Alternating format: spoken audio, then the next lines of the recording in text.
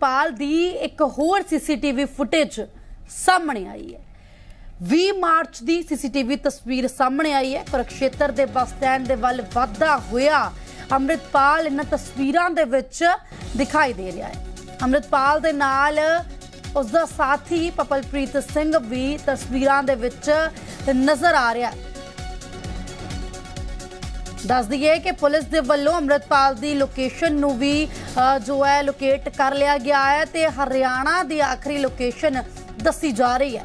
ਤੇ ਇਸ ਗੱਲ ਨੂੰ ਪੁਖਤਾ ਕਰਦੀਆਂ ਨੇ ਇਹ ਤਸਵੀਰਾਂ ਜੋ ਕਿ ਕੁਰਕਸ਼ੇਤਰ ਦੇ ਤੋਂ ਬਰਾਮਦ ਹੋਈਆਂ ਨੇ। ਸ਼ਾਹਬਾਦ ਦੇ ਤੋਂ ਇਹ ਤਸਵੀਰਾਂ ਨਸ਼ਰ ਹੋਈਆਂ ਨੇ ਜਿੱਥੇ ਕੁਰਕਸ਼ੇਤਰ ਬੱਸ ਸਟੈਂਡ ਦੇ ਵੱਲ ਜੋ ਅੰਮ੍ਰਿਤਪਾਲ ਹੈ, ਆਪਣੇ ਸਾਥੀ ਦੇ ਨਾਲ ਜਾਂਦਾ ਹੋਇਆ ਨਜ਼ਰ ਆ ਰਿਹਾ।